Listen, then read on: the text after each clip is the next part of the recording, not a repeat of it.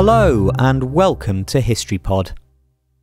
On the 15th of April 1755, Dr. Samuel Johnson published A Dictionary of the English Language in London. Johnson was not the first to write a dictionary, but his was the most comprehensive and detailed to date.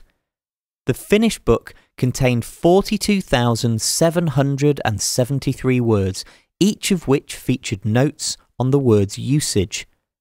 Perhaps most astounding is the fact that Johnson wrote and compiled the entire dictionary himself, taking nine years to do so, and earning the modern equivalent of 210,000 British pounds for his efforts.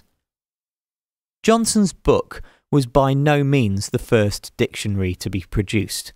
As far as we're aware, that accolade goes to Sir Thomas Elyot, who was the first to publish a book called a dictionary in 1538 while working for Henry VIII.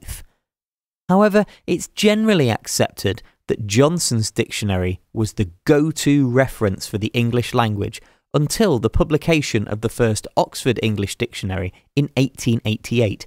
That's 173 years after Johnson published his. Despite the impact of Johnson's dictionary, it would be fair to say that it created a number of problems that the modern English language has inherited. His spellings have become standard in many ways, despite them having a number of inconsistencies. However, as Johnson himself wrote in a letter to an Italian lexicographer in 1784, dictionaries are like watches. The worst is better than none, and the best cannot be expected to go quite true. Música